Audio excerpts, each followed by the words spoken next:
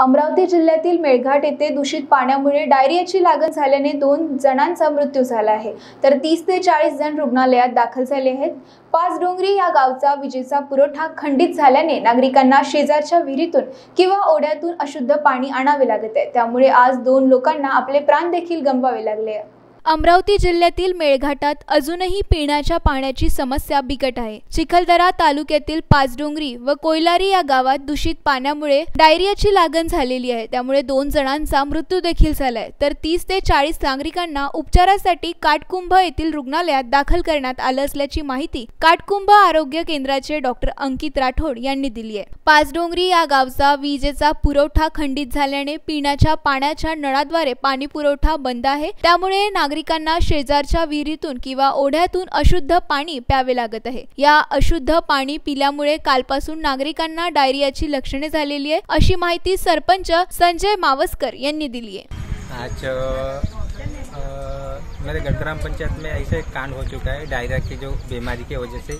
रात के नौ बजे से तो अभी तक इतने भयानक हो चुका है कि पाईडुंगरी जो गाँव है पाईडुंगरी गाँव में लगभग सत्तर के करीब करीब अभी हॉस्पिटल में भर्ती है उसके बाद में दो दो लड़के के थोड़ा उसको आवाज़ दे तो उधर रोकने करके जरा दो लड़के के मृत्यु हो चुका है उसके बाद में सुबह पता चला मुझे तो मैं डायरेक्ट हॉस्पिटल में गया पढ़ते में गया अपने क्या कार्टून दवाखाना में वहाँ पे लेटर वेटर किया और उसके बाद में डायरेक्ट वहाँ पे कैंप रखे। तभी इलाज चालू है पाईडुंगरी में उसके बाद में पता चला कि कोयलर की वो दिशा है। कारण क्या है इसका?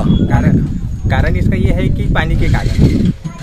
पानी के कारण ये डायरिया का बीमारी बहुत ज़्यादा हो चुका कोणतं पाणी पिरत आहे है गाव पानी एक अपने क्या बोलता जो अपना शेतकरी की जो कुआ में है हाँ, वो पानी थोड़ा सा बहुत बेकार सिचुएशन में था इसकी वजह से वो पानी के कारण हो चुका आज प्राथमिक आरोग्य केंद्र काटकुम पाचडोंग काटकुम या पी एस सी अंतर्गत पाचडोंगरी गावात येथे सा- साथीचे रोग साथीचं हे सुरू आहे. त्याच्यामुळे तिथं उलटी संडासचे भरपूर पेशंट आहेत. तर हे पाणी एकतर अस्वच्छ पाणी पिल्यामुळे किंवा नली नाल्यातून पाणी जे येतात त्याचं पाणी पे- पितात. त्याच्यामुळे उलटी संडास तिथं साथरोग सुरू आहे. आणि त्याच्यानंतर दोन पेशंट दोन दोन लोकांची मृत्यू झाली. गंगाराम धिकार आणि काय नाव त्याचं अखंडे याचे? सविता अखंडे याची डेथ झालेली आहे. आणि बाकी अजून सध्या आता पाचडोंगरी सोबतच काय आपल्या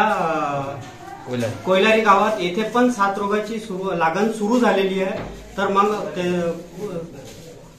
साथरोग अ, नियंत्रण करण्यासाठी आमची टीम तिथं कोयलारी गावात पोहोचलेली आहे. तिथं घरोघरी सर्वेक्षण पण सुरू आहे.